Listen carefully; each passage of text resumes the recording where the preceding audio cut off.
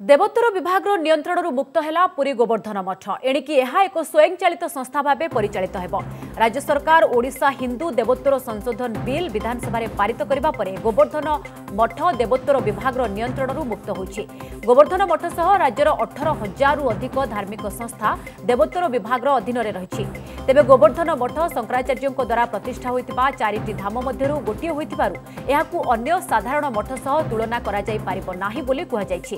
ସେହିପରି ଶ୍ରୀଜଗନ୍ନାଥ ମନ୍ଦିର ପରିଚାଳନାରେ ଗୋବର୍ଦ୍ଧନ ମଠର ଶଙ୍କରାଚାର୍ଯ୍ୟ ସ୍ୱାମୀ ନିଶ୍ଚଳାନନ୍ଦ ସରସ୍ୱତୀଙ୍କର ଗୁରୁତ୍ୱପୂର୍ଣ୍ଣ ଭୂମିକା ରହିବା ସହ ସେ ମୁକ୍ତିମଣ୍ଡ ପଣ୍ଡିତ ସଭାର ମୁଖ୍ୟ ଅଟନ୍ତି। ତା ସହିତ ରଥଯାତ୍ରା ସମୟରେ ଶଙ୍କରାଚାର୍ଯ୍ୟଙ୍କୁ ସ୍ୱତନ୍ତ୍ର ସେବାର ଅଧିକାର ରହିଛି। ଶଙ୍କରାଚାର୍ଯ୍ୟଙ୍କୁ ହିନ୍ଦୁ ଧର୍ମରେ ସର୍ବୋଚ୍ଚ ମାନ୍ୟତା ଦିଆଯାଇଛି। ଅନ୍ୟପକ୍ଷରେ ଶ୍ରୀଙ୍ଗେରୀର ଶାରଦା ମଠ ଦ୍ୱାରକା ମଠ ଏବଂ ଉତ୍ତରାଖଣ୍ଡର ଜ୍ୟୋତିର୍ମଠ ସ୍ୱୟଂଶାସିତ ହୋଇଥିବାରୁ ଗୋବର୍ଦ୍ଧନ ମଠକୁ ମଧ୍ୟ ସମାନ ମାନ୍ୟତା ଦିଆଯାଇଛି। ପୁରୀସ୍ଥିତ ଗୋବର୍ଦ୍ଧନ ମଠକୁ ଏଣ୍ଡାମେଣ୍ଟରୁ ପରିଚାଳନା ଭିତରୁ ମୁକ୍ତ କରିବା ପାଇଁ ଏବଂ ଏ ଗୋବର୍ଦ୍ଧନ ମଠ ଅନ୍ୟ ମଠ ଅପେକ୍ଷା ଅନେକ ଭିନ୍ନ ସ୍ଥାନ ରହିଛି ଗୋବର୍ଦ୍ଧନ ମଠର